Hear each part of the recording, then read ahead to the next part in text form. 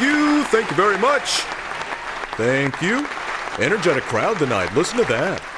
Loving it. That's right. We're back with Ask the Shark. I'm the Shark. Hope everybody had a great week. And uh, yeah, we're back for episode two. That's a pretty good sign, having us back.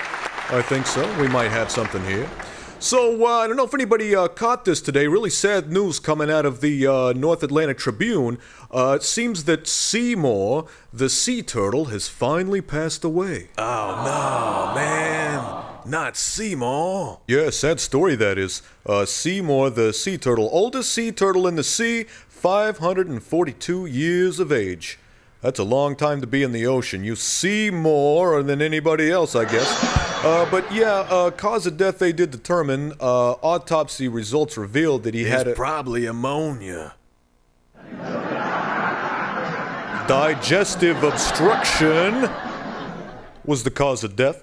So uh, yeah, uh, they actually uh, found what it was. It had been there for quite some time. Apparently, uh, they uh, pulled it out. Do we have a picture of that here?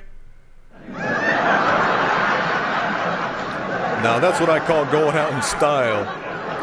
So, as we do every single week here at Ask the Shark, we take your questions about aquariums, ATM products, what have you, and we answer them. So, let's do this, people. It's time for the question of the week. This week's question comes from Barbara Kincaid in Parkersburg, West Virginia.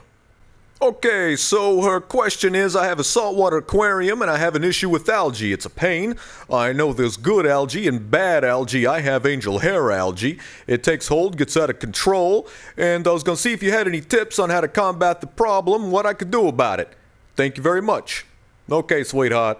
I got some tips for you. Okay, actually, I got a lot of them.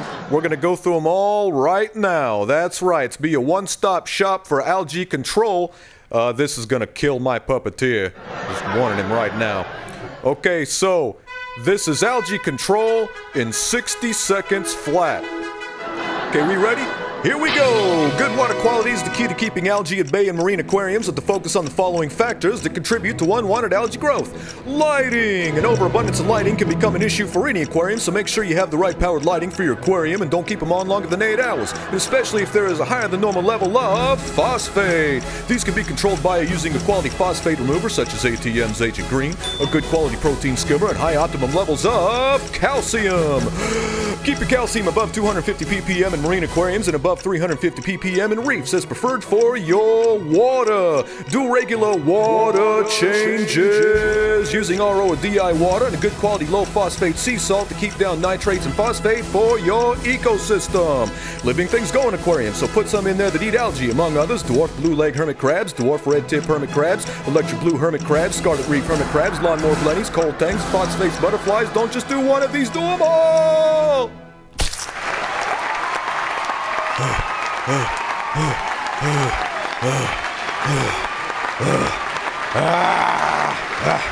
Okay, I feel a little better now. Thanks for your question, Barbara. Hope I got everything in there. Uh, there wasn't too fast. If it was, there's a replay button there on the player.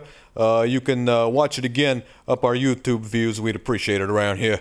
Uh, Barbara, you're going to get an autographed photo of Wayde King and Brett Raymer and the entire ATM crew. We'll send that out to you.